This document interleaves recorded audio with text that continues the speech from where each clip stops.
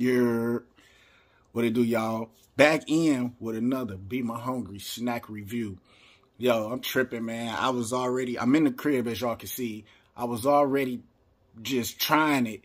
And I, it dawned on me, yo, I got to put my people on, man. So today we got a quick snack review of a beverage that I'm sure y'all been seeing going around, man. And y'all know I had to try it. Y'all know I had to get one.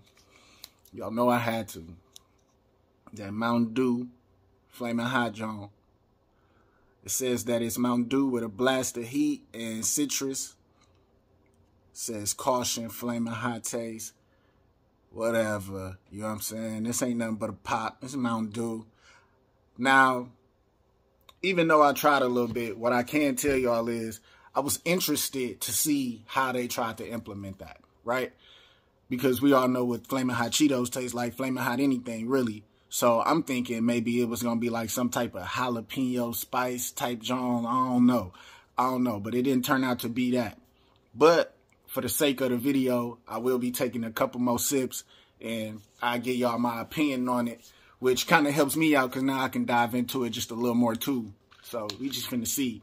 we going to get right in it, man. Like I said, it's Mountain Dew is new Flaming Hot. Man, they've been coming out with a, uh, real quick. They've been coming out with some with a few flavors. Most of them I liked. I think the one I didn't like was that ginger snap. I ain't really care for that like that, but the majority of them, that spark, that raspberry lemonade one, I I can dig it. I can dig it. I think that was the most recent one that I know of outside of this one.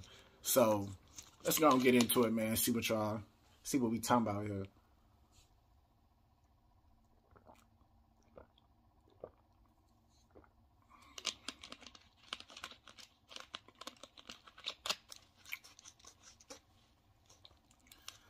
So,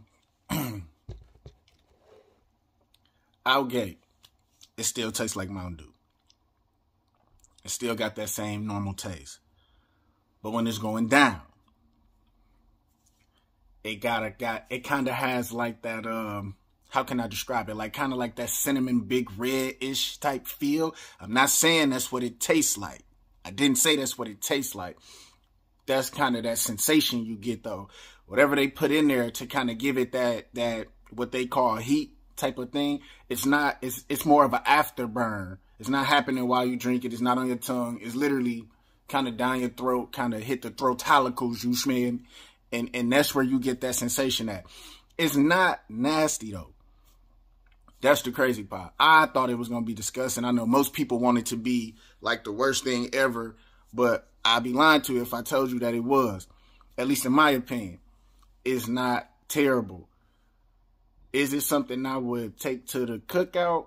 Probably not. But the shit ain't terrible, right?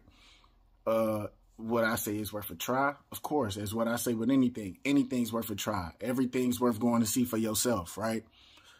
But it's interesting to say the least. It is. Nah, but uh it's interesting to say the least, man. Um I don't know why they did this. I don't know if if this one might not stick, just in my opinion. It might not stick. It might not last too long. But, you know, you got some people who kind of into it like the kids. You know what I'm saying? Them teenagers and, and, and, that type of age group, they, they might gravitate to it more so than anybody else. Uh, but on the B MaHungry scale, I'm I'm going to come up with a different scale, man. But for now, we're going to stick to the 1 through 10. Um, and I'm going to give it a 6. I'm going to give it a 6.5 it's cool. You know, it ain't nothing to write home about. Ain't nothing special. Uh, excuse me. It ain't nothing to write home about. Ain't nothing special. But it's it's a fun little flavor. You know what I'm saying? It's it's it's something cool to try. You know, if you into pop and that type of thing. Uh, I would recommend, you know, just getting a little can or something or doing what I did. Just get one little bottle and, and go ahead and eat it with a drink it while you eat a decent meal or something. It's it's it's straight. It's straight uh, like I said, would I go crazy over it? No. Actually, I'm lying. The um, I think BW3s has a new Mountain Dew out too that I gotta get my hands on.